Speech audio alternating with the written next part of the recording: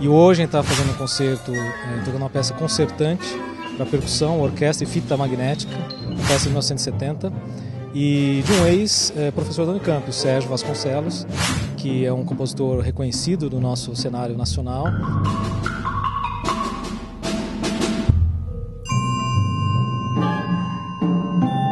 É uma orquestra e com o grupo de percussão. É um, para mim também é uma experiência nova, porque é, eu nunca tinha regido um grupo tão grande de, de percussionistas, né, com tantos instrumentos. Orquestra Sinfônica e Grupo de Percussão da Unicamp, na Casa do Lago, às 19 horas, nesta quinta-feira.